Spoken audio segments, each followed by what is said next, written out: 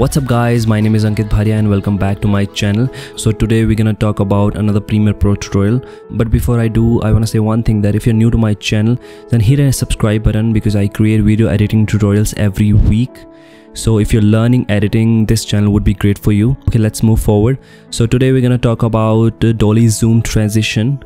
Basically, dolly zoom is as you're moving forward with your camera, you're zooming out of your lens. This should be done when you're recording but sometimes it's just not possible as I recorded this video with drone. So it was not possible for me to give that effect.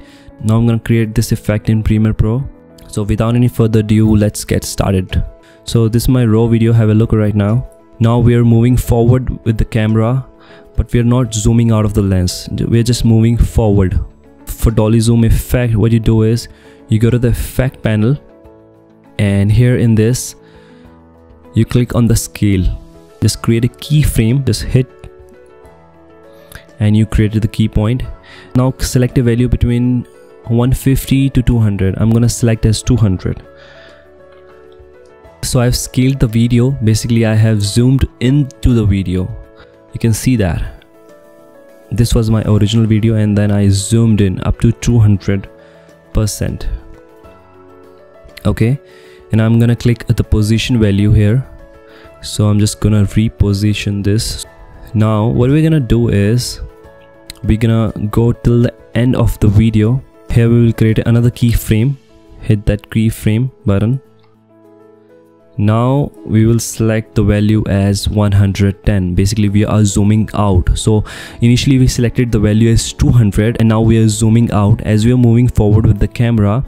So we decrease the value from 200 to 110 so this is gonna give the dolly zoom effect. You can apply on any video it will work the same. Now we're just gonna reposition this. Yeah that looks okay to me. Now i'm gonna render this video to show you how it actually looks. So just select the in point and the out point and go to the sequence and render into out. It's looking so cool see that again. Now I'm gonna take another video and I'm gonna show you on that one as well. So this is the video. As you can see that we are moving forward with the camera. So we're gonna do the same thing to this video.